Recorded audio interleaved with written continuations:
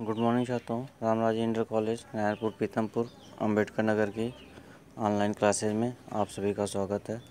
जैसा कि छात्रों, हम लोग जीवधारियों के लक्षण का अध्ययन कर रहे थे तो जीवधारियों के लक्षण के बारे में हमने आपको दो पॉइंट्स बताए थे। एक बताया था, डाइजेशन।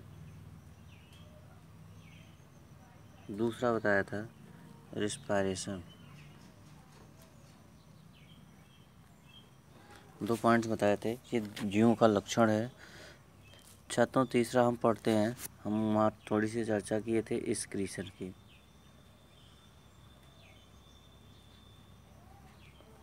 स्कीसन तो ये जीवों का तीसरा प्रमुख लक्षण है। स्कीसन उत्सर्जन।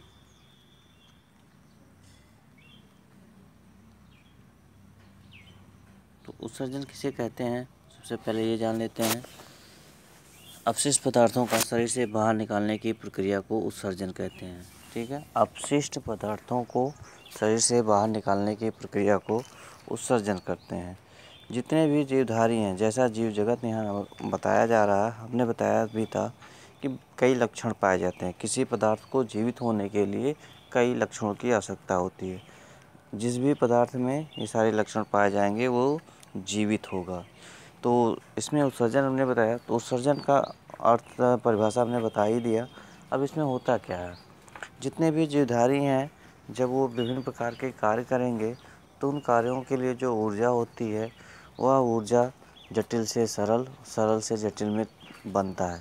तो बनने की प्रक्रिया में कुछ ऐसे पदार्थों का निर्माण होता है, जो उनके शरीर के लिए आवश्यक नहीं होता है। तो ऐसे पदार्थों का शरीर से बाहर निकालना अत्यंत आवश्यक होता है, क्योंकि जीवधारियों के शरीर के अंदर अगर अपशिष्ट पदार्थ एकत्रित होने लगते हैं तो वो सभी पॉइजन बनाना शुरू करते हैं।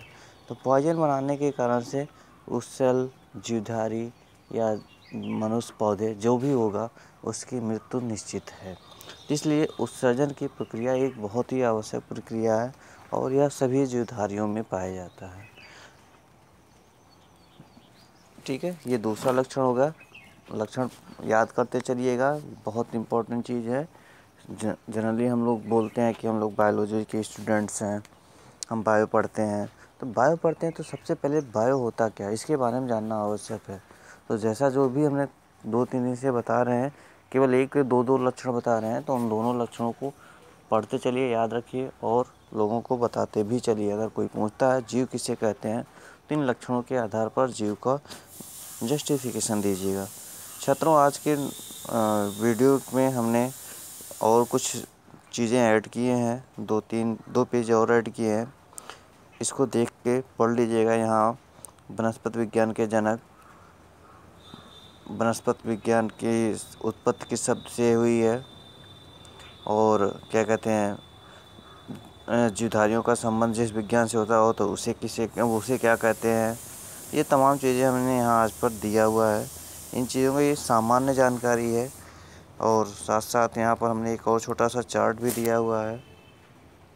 ये ये इसको आप रट लीजिएगा। ये हमेशा काम देता है। हम विभिन्न प्रकार की चीज़ों को जो देखते हैं, उनका अध्ययन करते हैं। इन सब बातों की यहाँ पर थोड़ी थोड़ी चर्चा की गई। एक एक लाइन का एक एक पेज का है। इसको ज़रूर नोट्स बना लीजिएगा। ये बहुत इम्पोर्टेंट है कंपटीशन के दृष्टिकोण से, ठीक है? और जो चीज़ें नहीं समझ में आएगी वो हमसे पूछ लीजिएगा। होमवर्क अभी आपको इसलिए नहीं दे रहे हैं क्योंकि अभी आप जुड़ें और समझें बातों को। जब समझेंगे, आपका पढ़ने में इंटरेस्ट आएगा, तब होमवर्क देने में भी अच्छा लगेगा, ठीक है? इसको पढ़ लीजिएगा। इस जो दूसरा तीसरा पेज है, दूसरे तीसरे पेज को पढ़े रहिएगा। फिर हम समय निकाल के आपसे टेस्ट के बारे में बात करेंगे। ओके थैंक यू फिर मिलते हैं नेक्स्ट क्लासेज में।